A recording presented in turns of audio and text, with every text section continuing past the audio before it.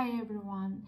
In this video I show you how I draw a female portrait from sketch to final and I also share with you some art tips, how to optimize your work on a project in Procreate and I hope some information from this video will be new for you and useful.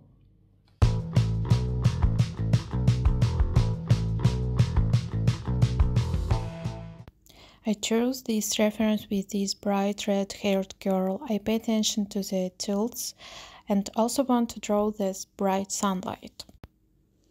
Any illustration begins with a sketch. That is exactly what I am doing in this stage. I draw a dirty sketch, convey the first impression and look for shapes. When I draw a sketch, I think about how I will stylize this portrait. First, I drew the base, and yes, I didn't build according to the rules. Then, on this basis, I draw the details. Often, after this stage, I move straight to coloring, especially if it's just a drawing for practice. Afterwards, I draw the line and then work with it. This layer will be the topmost layer with an opacity of 10. Next, I fill the form with the overall color of the skin. This will be my base on which I will apply all other layers.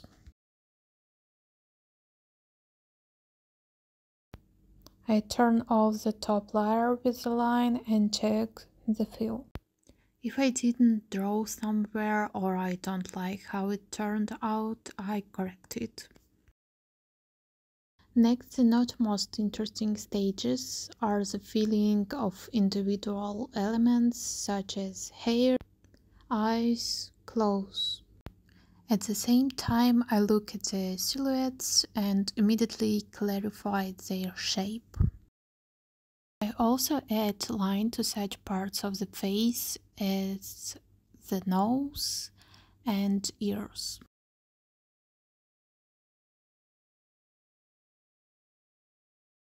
I lighten lower part of the face a little to separate it from the neck. Then I darken areas on the skin and hair based on the reference.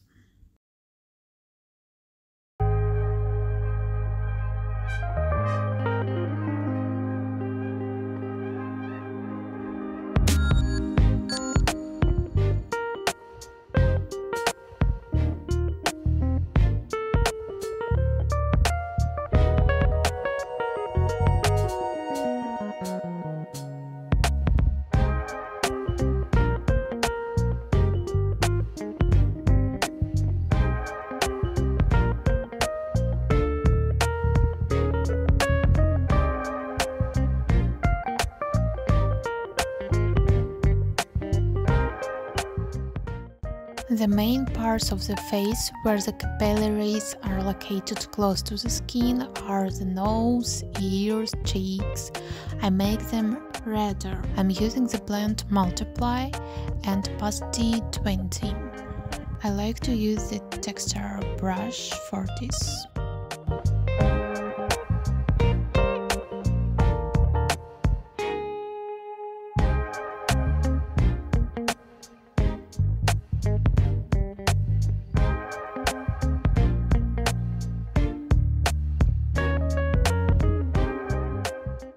After this, I work on the darker areas of the hair, thereby adding depth to them.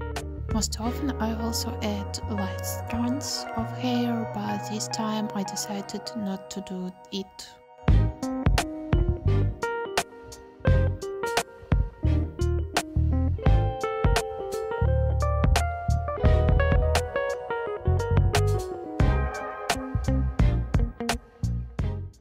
The next layer is a general shadow. Since the light comes from the side of the left and is a warm light, the whole girl is in shadow. Using a cool shade, I fill the layer. But since there are lighter areas in the portrait, I apply a mask to the layer with the shadow and on the mask layer I remove the shadow from these places with a soft brush.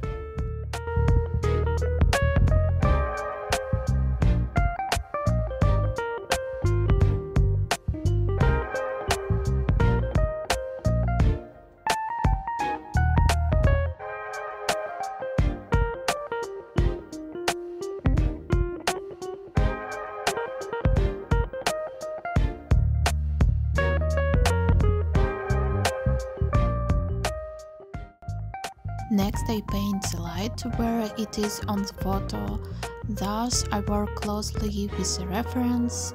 This is one of my favorite stages in stylizing. My style is not super voluminous, but not flat either. Therefore, I don't skip the stages of working with volume through light and shadow. With light, the work already looks different, the atmosphere is immediately added, and thus we provide even more information for the viewer. I draw large spots of light and then use an eraser to give them shape.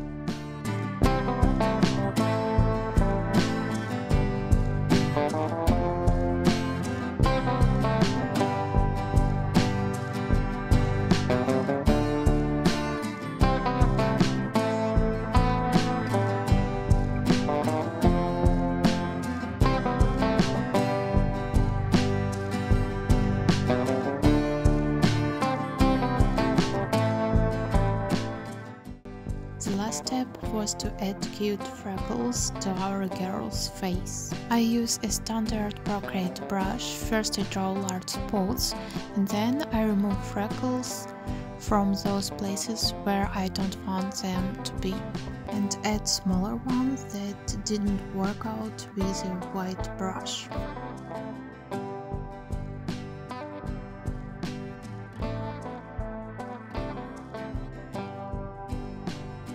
Also I didn't show it in this video, but I drew falling shadows from the hair on the body, from the nose on the face, from the eyelids on the eyes, and from the earrings on the hair.